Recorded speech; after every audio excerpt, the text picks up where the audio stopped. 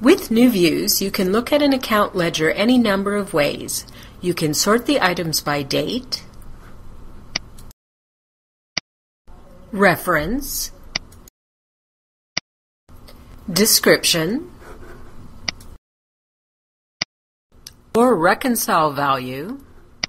In forward or reverse order simply by clicking the column title. You can also choose to view all ledger items or restrict your views to debit, credit, open, or closed items. Here we're looking at the open view of an account ledger or all the unreconciled items sorted in reverse order by date. You can also resize and rearrange columns at any time to create a customized view of an account ledger or any other window.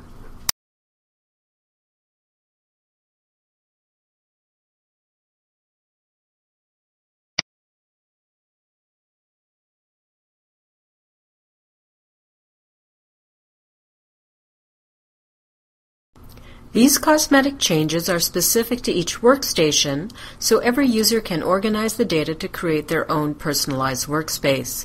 Of course, the default structure for any window can be restored at any time.